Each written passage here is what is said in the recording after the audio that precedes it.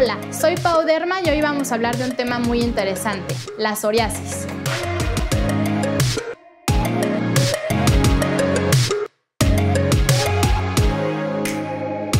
La psoriasis es una enfermedad crónica de la piel, principalmente se va a presentar en codos y en las rodillas y en algunas otras salientes óseas. ¿Qué es lo que sucede con nuestra piel? Nuestra piel se va produciendo de la profundidad a la superficie, pero en las personas con psoriasis esta forma de descamar la piel es mucho más rápido que una persona normal, es decir, se tarda aproximadamente 14 días y una persona normalmente descama en 30 días. El problema es que esta piel se acumula y por eso se ven estas placas que quedan aquí pegadas. La psoriasis no es contagiosa, es decir, no se transmite de una persona a otra.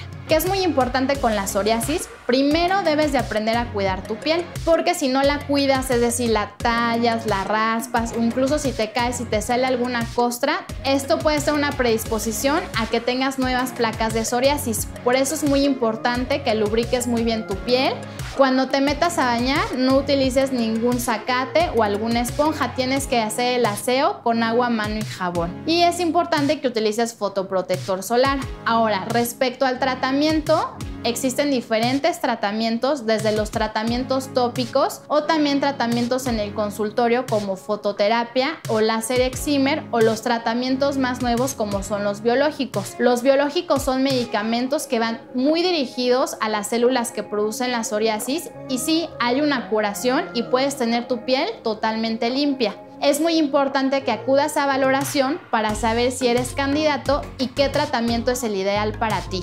Exactamente no se sabe la causa por la cual da la psoriasis. La psoriasis también se puede dividir en psoriasis de pequeñas placas, es decir, pequeños circulitos o grandes placas, placas más grandes. Generalmente la de pequeñas placas se puede asociar a alguna enfermedad de vías aéreas respiratorias altas, es decir, cuando nos enfermamos de la garganta. También la psoriasis tiene que ver con inflamación interna, es decir, si estás un poco arriba de tu peso, no haces mucho ejercicio fumas o tomas, esto también puede afectar la calidad de vida de las personas con psoriasis. Por eso es muy importante de que aparte de que lleves un tratamiento, por ejemplo, hagas un poquito más de ejercicio, trates de no fumar. Todo esto va a ayudar en mejorar la calidad de la piel. También se ha asociado al famoso síndrome metabólico. Recordemos que este síndrome metabólico tiene que ver con enfermedades como la diabetes, cuando tenemos el azúcar alta. De ahí la importancia de saber cuál es tu caso y exactamente saber si requerimos incluso ayuda de algún otro especialista. Otra cuestión que debes de tomar en cuenta es que a veces las personas con psoriasis también pueden presentar alteraciones de las articulaciones. Esto se llama artritis psoriásica. Por eso también es importante que acudas a valoración para saber si requieres de algún otro tipo de tratamiento.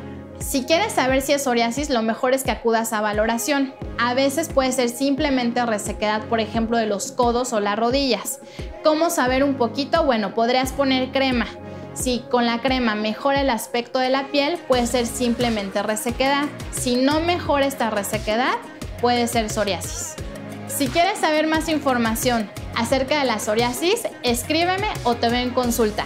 Sígueme en Pauderma.